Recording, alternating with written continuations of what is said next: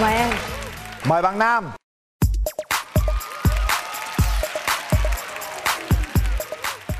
rồi Xin bây giờ mình giới thiệu về à, mình nha Anh Quyền Linh và chị Cát Tường xin chào tất cả quý vị khán giả trường quay và xin chào bạn ờ, nữ bên ờ, phía rằm bên kia. Dạ chào bạn Em tên là Trần Hoàng Anh, năm nay sinh năm ờ, 90 ạ, 28 tuổi, là trưởng phòng kinh doanh của công ty thiết bị ờ, mầm non của miền Nam.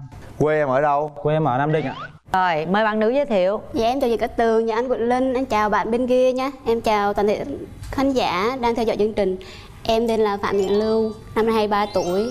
À, Em đang làm nhân viên kế toán ở thành phố Hồ Chí Minh. Rồi em sinh sống thành phố Hồ Chí Minh luôn. À quê mình đây luôn hả em? Dạ quê em ở Nghệ An đó chị. Nghệ an. Dạ. Mình có những ưu điểm khuyết điểm nào mình có thể kể cho bạn gái nghe luôn? À, ưu điểm của em thì là năng động, năng động. nhiệt tình, biết ờ, nấu ăn. Nấu nhiều món không cũng được anh ạ. món gì là ngon nhất Theo em thì em thấy em nấu cái món mà nấu chuối ốc á.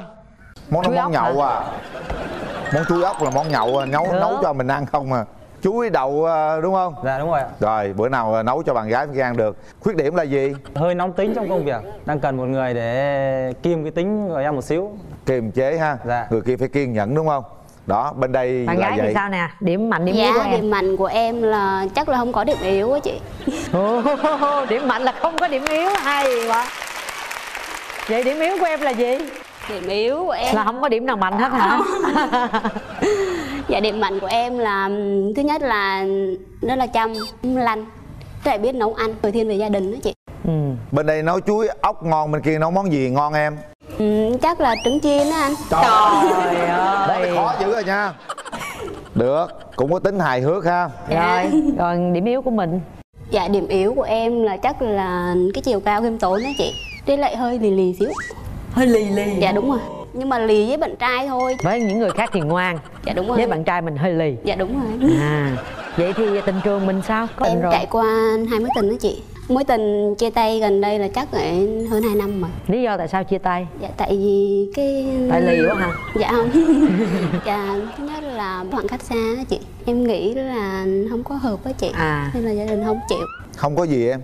Gia đình bên kia không chịu á anh. Em có biết lý do sao tao không chịu không? Quan điểm của em thì em sống thích sống ở trong đây á anh. À. Mà ở bên kia là muốn về quê đúng không? Dạ đúng rồi anh. Dạ. em lấy vợ em có muốn về quê vợ về quê luôn không thì cái hướng của em thì lấy vợ thì em cố gắng có lập nghiệp ở trong này.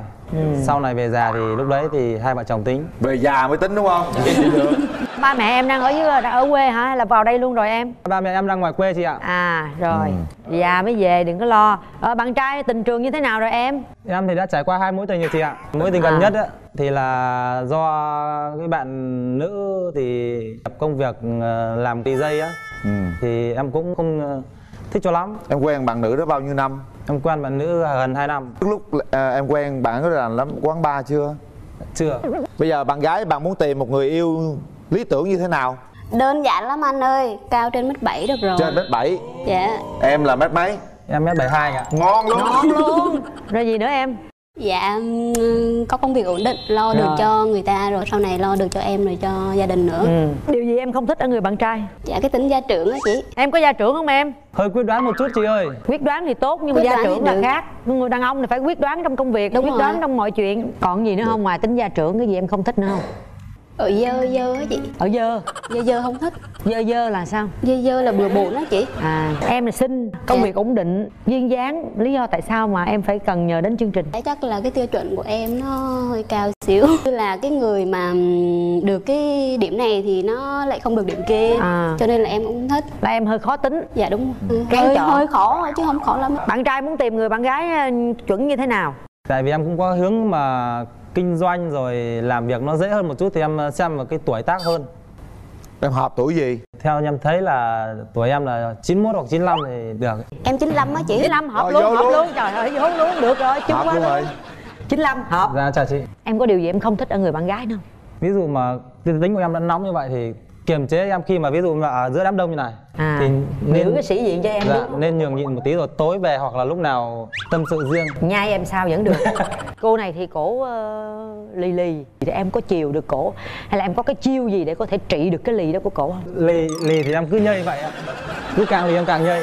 Coi như em lì hơn đúng không? Em có phải là mẫu người ờ, ga lăng lãng mạn không em thì ga lăng thì có nhưng mà lãng mạn thì ít em thực tế hơn. Thực tế hơn. Ví dụ mà nay ngày mùng 8 tháng 3 anh dắt em đi ăn uống gì đó thì được chứ bảo mà tặng quà thì tặng quà cũng không được luôn hả? Không phải ví dụ tại vì cũng không biết là tặng quà gì em thích là thực tế hơn bảo là ờ, ví dụ em muốn cái đầm hay cái váy gì đó. Ừ thì cái đó cũng là tặng quà. Có Dạ. nghĩa là không có tặng những món quà lãng phí chứ không phải là không tặng quà. Phụ nữ á, đôi khi à, vật chất họ cũng cần nhưng mà cần cái tinh thần nhiều hơn. Ít nhất cũng phải có một bó hoa nào đó. Biết rằng cái đầm cái váy nó mắc hơn nhưng mà hoa nó vẫn là cái tinh thần nó em tặng hoa nó khác. Cái hoa dại bên đường em tặng được kèm theo cái đầm. Bây giờ kế hoạch kết hôn của em là khi nào? Em thì nếu mà dự tính mà hai bên ờ, đồng ý thì sang năm cưới. Em có đủ khả năng tài chính để mà lo cho bản thân em vững chắc rồi vợ con sau này chưa? Em ờ, ổn tự tin. Dạ. Rồi được. Chị được đưa đưa không chị? Được để trước khi anh qua anh xem mặt thì à, em nói cho anh cái mẫu hình lý tưởng của cô gái mà em đang hướng tới như thế nào. Có nước da trắng là đầu tiên. Da trắng. Cái khuôn mặt nó ưa nhìn. Trắng thì phải ưa nhìn rồi. Cái chiều cao thì từ mét ờ, 55 trở lên. 55 trở lên hả? Em có 50 anh ơi. Chết rồi. Mất Đôi- 5 phân đôi một tớt đôi một về đi giày rồi thôi được rồi để anh qua kiểm tra coi. Mất 5 phân sau dạ dạ. Em chào anh. Trời em gái dễ Dạ. thương quá. Rất là xinh ha. Lỡ ngày 8 tháng 3 này kia anh không mua hoa cho em thì sao? Không sao em không thích hoa em thích quà hơn là hoa. Trời ơi. Dạ. Phụ nữ thì cũng lạ nha. Anh này anh không thích lãng mạn. Em em dạy được. Em vậy luôn. Được. Được. Anh không nắm tay em lĩnh. thì em nắm tay ảnh cái gì ừ, đâu đôi khi á, phụ nữ chủ động cũng là điều tốt. Dạ. Đàn gái. Dễ thương. Dễ thương. Chấm rồi đó em bây giờ mình à, hỏi ý kiến người thân à, sao rồi? Mình cho gặp mặt luôn. Bạn gái đi với ai? Dạ em đi với à, chị hai chị ruột em với lại anh họ với lại mấy đứa bạn em á anh. À, xin chào anh ờ, Quyền Linh, chị Cát Tường và toàn thể ờm, quý khán giả đang ngồi trong ờ, trường quay. Chị thấy ờ, em trai theo cái ờ, tiêu chuẩn của em thì cũng ờ, được đến ờ, ờ, mấy mươi phần trăm rồi đó. Nhưng mà về cái tính gia trưởng em nói thì có lẽ hạn chế bớt. Chị cũng thấy là cũng ờ, được. Thì nếu như mà hai em có cơ hội thì nên ờ, cho nhau để ờ, tìm hiểu thêm. em nói gì chị chị hai đi em dạ chào chị tính gia trưởng của em ấy thì em cần một người để kiềm chế em thì em kiềm chế được mà anh nghĩ rằng em gái của em sẽ kiềm chế được đó thấy là nó ngã liền rồi không sao chứ giờ em hứa với chị gái gì đi cho gái tin tưởng em chút xíu đi nếu mà bạn gái bên kia mà có bấm nút mà hai đứa có thời gian tìm hiểu nhau em hứa với chị là không cho bạn gái em tất cả nhưng mà sẽ cho người ta hạnh phúc nhất cảm ơn em. cảm ơn bạn em trai hôm nay mình đi với ai em dạ em đi với sếp và đồng nghiệp của em và chị gái em ạ Chào anh Quyền Linh, em chào chị Cát Tường ạ, chào các Chào bạn em. khán giả. Ừm, em trai chị ấy thì nó nóng tính thật nhưng mà nó là một người có trách nhiệm. Ừm, là một người ờ, của gia đình đấy em ạ. Nó lựa chọn vợ ấy thì cái tiêu chuẩn hàng đầu của nó ấy là một người mà biết chia sẻ khó khăn với nó ý kiến sếp làm sao À, chào anh Quyền Linh, à, chào chị Cát Tường, chào quý vị khán giả. Bạn gái này cũng nhỏ nhắn, xinh xắn và rất là dễ thương. Mong là hai bạn à, cho nhau một cơ hội để đến với nhau thì à, sẽ tốt hơn. rồi À, mà mình nhắn nhủ thêm với bạn à, Hoàng Anh là bạn này là sinh ra là do bạn cho bạn á. em cảm ơn anh bây giờ mình kéo màn lên cho hai bạn trẻ gặp mặt mang lên đi không gian này là của tụi em nhé mời các bạn. Chào em. Dạ. Thì đến ờ, chương trình thì có bó hoa và món quà muốn tặng em. Dạ em cảm ơn. Này này của hồi môn hay gì anh? Vậy mà nói là không không lãng mạn. Có hoa rồi có quà cái đó cái gì nữa? Trên bàn còn cái giỏ à, gì? em có chuẩn bị cho bạn gái món ăn sáng ơi. Em em cộng đồng quá. Là cái gì em? Chuẩn bị kỹ cái trời. Là cái gì chị tôi giờ mới thấy bạn muốn hẹn hò mà chàng trai nấu cho bạn gái luôn. Đây là chị đưa em cho em mở chứ nào chị mở thì à, kỳ cái quá. này cơm chiên dân châu á đúng không anh? Chuẩn bị kỹ vậy ta? Đây là hộp kim chi. Em nhìn theo quý vị khán giả em xin nha anh chị nha thử nếm đi em. Kim chi em làm hay em mua? Cái này là chị gái em làm ạ. Em mang cơm cho là em chiên. Dạ. Em à, phải ăn cơm, ăn cơm. cơm là là ảnh chiên. Cái này ngon lắm anh. Cái này chị chị làm ảnh để anh ăn. Cái gì vậy? Em ăn cơm của ảnh kìa. Ngon không? Ờ được. Đó quà tặng em đó. Dạ. Công nhận á, là đầu tiên anh thấy cảm tình rồi đó chuẩn bị rất là kỹ càng. Có Rồi nhờ chị làm kim chi nữa. Ha có quà có Được. đồ ăn tuyệt vời. Giờ bỏ qua chuyện ăn uống đi nha. Chúng ta bắt đầu 2 phút lại từ đầu nha. 2 phút bắt đầu. Anh thấy em như thế nào? Cái cảm giác đầu tiên của anh nhìn về em ấy thì đúng là một người cô, cô gái dễ thương. Em cảm ơn. Nhỏ nhắn. Dạ. Ừ, có nước da trắng. À, em có một vấn đề là ừm, em có một nhóm bạn thân là con trai à, hay đi chơi với người ta anh có ngại cái vấn đề đó không? Những cái vấn đề giao tiếp của giữa em và bạn trai thì Bạn đấy thân là thôi. bạn thân ok. Thì không quan trọng nhưng quan trọng là cái tình cảm giữa hai đứa tin tưởng với nhau để không để người ta hiểu nhầm. Cái gì cũng có mức giới hạn thôi. Anh có gì muốn hỏi không?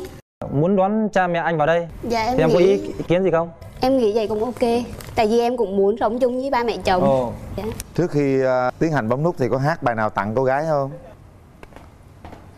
đó. Ngày không em không lung linh nắng trên con đường. Lòng người bước qua riêng anh ngẩn ngơ miên man. Và em hỡi có biết tim anh vẫn vương bóng hình. Đợi mong. Được rồi. Không này lãng mạn lắm đó chứ đừng Đúng giỡn rồi. nha. Được. Chúng ta có thêm 30 giây nữa để nói những suy nghĩ của mình về người đối diện nãy giờ mình suy nghĩ thế nào. Trái tim mình có một chút gì rung động chưa Cái tính cách của em thì anh cũng chưa biết Thì mình cứ cho nhau cơ hội Thì mới biết được cái tính cách của nhau. Và còn thiếu cái gì để bổ sung cho nhau? Em cũng nghĩ là mình nên cho nhau cơ hội. Đặt tay vào nút bấm đi bạn. Rồi dạ. quyết định là phải có trách nhiệm với sự quyết định đó các bạn nha. Một hai. Một hai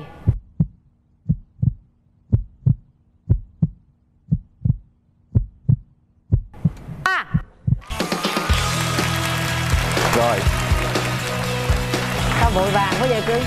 Dễ thương quá à, à, nhưng mà anh nghĩ rằng à, cô ấy đủ bản lĩnh để kiềm chế anh này đấy. Đúng rồi. chàng trai dễ thương mà. Cũng ga lăng lắm chứ không phải là không lãng mạn đâu nha. À, Rồi. nắm tay nhau đi hai bạn.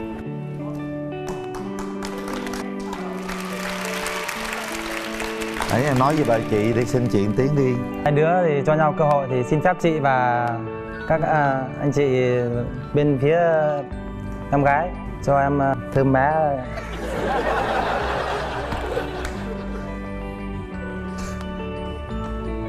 được không chị? Chị khóc rồi kìa. Thấy chị cảm động chưa? Được hai anh trai hả? Rất cảm động. Thôi mình làm nhiệm vụ của mình đi em. Chị nói rồi. Và sao chị lại khóc? Em đã nắm được chặt bàn tay của người em tin tưởng. Và hy vọng đấy là quyết định của em và hai em nên tìm hiểu kỹ nhau và đi đến quyết định cuối cùng. À, cảm ơn chương trình đã tạo cơ hội cho hai em được à, gặp gỡ và chúc cho chương trình à, ngày càng à, phát triển ừ, thu hút nhiều người xem và nhiều người à, có cơ hội để đến đây tìm được một nửa của mình. Rồi cảm ơn em.